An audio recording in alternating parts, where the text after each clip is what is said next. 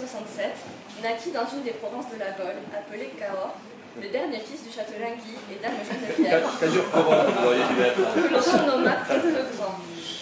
Il vécut, il vécut une partie de vagabondage et se décida à assurer une descendance. Là, il mit son deuxième cheveu blanc.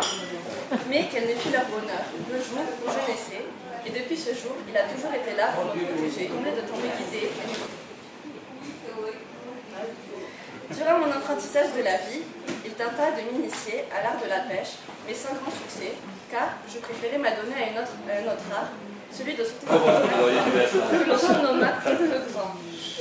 Il vécut, il vécut une enfance heureuse et insouciante, et fit les 400 coups avec ses deux lurons de frères, Éric et Christophe, sans oublier leur cousin. Quelques années m'a donné à une autre art, celui de sauter les obstacles à dos de cheval. Il finit par accepter et m'accompagna dans cette belle aventure pendant quelques années. Mais il mit quand même son troisième cheveu blanc. Il m'a appris aussi à découper et à apprécier le beau partager sa passion pour la photo et m'initia à la pratique de son fidèle compagnon de labeur, mais aussi de détente, nom barbare d'ordinateur. Il sut toujours me régaler en me donnant des bons petits plats qui me donna et me donne encore l'énergie pour avancer. Il sut m'aider bien grandir. Ben, il finit par mettre dernier cheveux blanc. D'ailleurs, lui procure un certain Là, il y a certain charme. 2000 de plus. Le jour où il fit connaissance de son rival, mon prétendant. Pour la suite, l'avenir me le dira.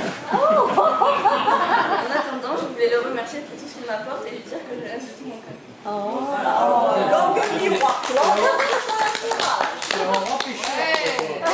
tu pas fini. Eh ben juste, et moi juste un mot pour vous dire, pour vous dire que c'est sur